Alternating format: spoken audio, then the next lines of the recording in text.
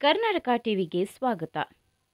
ನಿಮ್ಮ ಜಾತಕದಲ್ಲಿ ಕಾಳಸರ್ಪ ದೋಷಗಳು ಇದ್ದರೆ, ನೀವು ಮಾಡುವಂತಹ ಕೆಲಸ ಕಾರ್ಯಗಳಲ್ಲಿ ಜಯ ಸಿಗದೇ ಇದ್ದರೆ, ನಾವು ಹೇಳುವ ವಿಧದಲ್ಲಿ ದೀಪಾರಾಧನೆ ಮಾಡಿದರೆ ಕಾರ್ತಿಕ ಮಾಸದ ಪುಣ್ಯ ಫಲ ಪ್ರಾಪ್ತಿಯಾಗುತ್ತದೆ.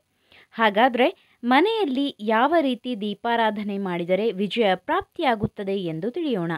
ಆದರೆ ಅದಕ್ಕೂ ಮುನ್ನ ನೀವಿನ್ನು ನಮ್ಮ ಚಾನಲ್ನ ಸಬ್ಸ್ಕ್ರೈಬ್ ಮಾಡದಿದ್ದಲ್ಲಿ ಬೇಗ ಸಬ್ಸ್ಕ್ರೈಬ್ ಆಗಿ ಪಕ್ಕದಲ್ಲಿರುವ ಬೆಲ್ ಐಕಾನ್ ಪ್ರೆಸ್ ಮಾಡಿ. ಎಲ್ಲ ಮಾಸಗಳಿಗಿಂತ ಕಾರ್ತಿಕ ಮಾಸ ಪವಿತ್ರವಾದ ಮಾಸವಾಗಿದೆ. ಕಾರ್ತಿಕ ಮಾಸವು ಅಕ್ಟೋಬರ್ ಇಪ್ಪತ್ತಾರು ಬುಧವಾರದಿಂದ ಪ್ರಾರಂಭವಾಗಿ ನವೆಂಬರ್ ಇಪ್ಪತ್ತ್ಮೂರರಂದು ಕೊನೆಗೊಳ್ಳುತ್ತದೆ.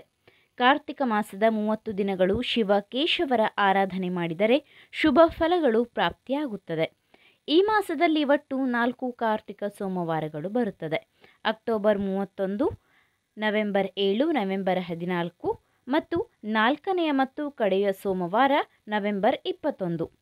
ಕಾರ್ತಿಕ ಮಾಸದ ಮೂವತ್ತು ದಿನ ಅಥವಾ ಕಾರ್ತಿಕ ಸೋಮವಾರಗಳಲ್ಲಿ ಮನೆಯಲ್ಲಿ ನಾವು ಹೇಳುವ ಪ್ರತ್ಯೇಕ ಸ್ಥಳಗಳಲ್ಲಿ ದೀಪಾರಾಧನೆ ಮಾಡಿದರೆ ವಂಶ ಪರಂಪರೆಯಾಗಿ ಬಂದಿರುವಂತಹ ಕಾಳಸರ್ಪ ದೋಷಗಳು ಕಳೆದು ನಿಮಗೆ ಅದೃಷ್ಟ ಕೂಡಿ ಬರುತ್ತದೆ.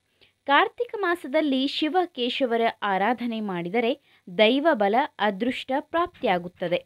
ಈ ಮಾಸದಲ್ಲಿ ಪವಿತ್ರವಾದ ನದಿ ಸ್ನಾನ ಹಾಗೂ ವಿಶೇಷ ದೀಪಾರಾಧನೆ ಮಾಡಿದರೆ ಅಖಂಡ ದೈವ ಬಲ ಪ್ರಾಪ್ತಿಯಾಗುತ್ತದೆ. ಜೀವನದಲ್ಲಿ ಸಂಕಷ್ಟದ ಪ್ರಮಾಣ ಕಡಿಮೆಯಾಗುತ್ತದೆ. ಹಾಗಾದರೆ ಕಾರ್ತಿಕ ಮಾಸದಲ್ಲಿ ವಿಜಯ ಪ್ರಾಪ್ತಿಗಾಗಿ ಯಾವ ರೀತಿ ದೀಪಾರಾಧನೆ ಮಾಡಬೇಕು ಎಂದು ತಿಳಿದುಕೊಳ್ಳೋಣ. ಮೊದಲನೆಯದಾಗಿ, ನಿಮ್ಮ ಮನೆಯ ಬಾಗಿಲಿನ ಹೊಸ್ತಿಲಿನ ಹೊರಭಾಗದಲ್ಲಿ ಎರಡು ದೀಪಗಳನ್ನು ಇಡಬೇಕು.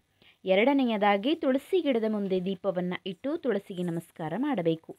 ಮೂರನೆಯದಾಗಿ, ನಿಮ್ಮ ಮನೆಯ ದೇವರ ಮನೆಯಲ್ಲಿ ದೇವರ ಚಿತ್ರಪಟದ ಮುಂದೆ ದೀಪಗಳನ್ನು ಇಡಬೇಕು. ನಾಲ್ಕನೆಯದಾಗಿ, ನಿಮ್ಮ ಮನೆಯ ಅಡುಗೆ ಕೋಣೆಯಲ್ಲಿ ನೀವು ಧಾನ್ಯಗಳನ್ನು ಇಡುವ ಸ್ಥಳದಲ್ಲಿ ದೀಪಾರಾಧನೆ ಮಾಡಬೇಕು. ಹೀಗೆ ಪ್ರತ್ಯೇಕವಾಗಿ ನಿಮ್ಮ ಮನೆಯ ನಾಲ್ಕು ಜಾಗದಲ್ಲಿ ದೀಪಾರಾಧನೆ ಮಾಡಿದರೆ ಮನೆಯಲ್ಲಿ ಇರುವ ನಕಾರಾತ್ಮಕ ಶಕ್ತಿ ದೂರವಾಗುತ್ತದೆ. ಕಾರ್ತಿಕ ಮಾಸದ ಮೂವತ್ತು ದಿನಗಳಲ್ಲೂ ಅಥವಾ ಕಾರ್ತಿಕ ಮಾಸದ ಸೋಮವಾರದಲ್ಲಿ ಈ ರೀತಿ ದೀಪಾರಾಧನೆ ಮಾಡಿದರೆ ನಿಮ್ಮ ಕಷ್ಟಗಳು ದೂರವಾಗುತ್ತದೆ. ಮನೆಯ ಸದಸ್ಯರು ಮಾಡುವಂಥ ಎಲ್ಲ ಕೆಲಸ ಕಾರ್ಯಗಳಲ್ಲಿ ವಿಜಯ ಪ್ರಾಪ್ತಿಯಾಗುತ್ತದೆ. ಈ ದೀಪಾರಾಧನೆಯನ್ನು ಸಂಜೆ ಮಾಡಿದರೆ ಶುಭ ಫಲಗಳು ಪ್ರಾಪ್ತಿಯಾಗುತ್ತದೆ. ಈ ಮಾಹಿತಿ ನಿಮಗೆ ಇಷ್ಟವಾಗಿದ್ದಲ್ಲಿ ಈ ಬಗ್ಗೆ ಕಮೆಂಟ್ ಮಾಡಿ, ವಿಡಿಯೋನ ಲೈಕ್ ಮಾಡಿ, ಶೇರ್ ಮಾಡಿ. ಒನ್ಸ್ ಅಗೇನ್ ನಮ್ಮ ಚಾನಲ್ನ ಸಬ್ಸ್ಕ್ರೈಬ್ ಮಾಡದಿದ್ದಲ್ಲಿ ಬೇಗ ಸಬ್ಸ್ಕ್ರೈಬ್ ಮಾಡಿ. ಧನ್ಯವಾದ.